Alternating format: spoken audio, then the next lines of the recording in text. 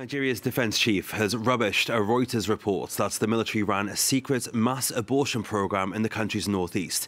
The news agency alleged that since 2013, the Nigerian army has maintained a secret, systematic, and illegal abortion program that has terminated at least 10,000 pregnancies, many of which were among women and girls kidnapped and raped by Islamist militants.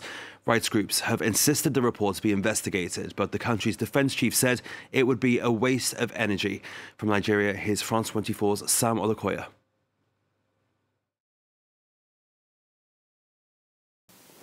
The military has in the past faced several allegations of human rights abuses, but the allegation that it ran secret programs under which it forcefully carried out about 10,000 abortions on women and girls is certainly the most serious. The report carried disturbing allegations, including how some of the victims died in the course of the forced abortions. The victims were said to be pregnant for jihadist groups like Boko Haram, who earlier held them captives. It was alleged that once the military rescued them, forced abortions were carried out to stop them from giving birth to children that may become jihadists in future, like their fathers. But Nigeria's Chief of Defense Staff, General Lucky Irabor, described the report as false.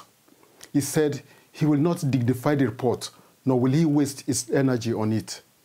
But many Nigerians are spending energy sharing the report on social media and commenting on it. A local women's rights group described the allegations as a horrific assault on poor women and girls. The rights group Amnesty International has called on the Nigerian government to investigate the allegations against the army. The Nigerian government has so far not commented on the issue.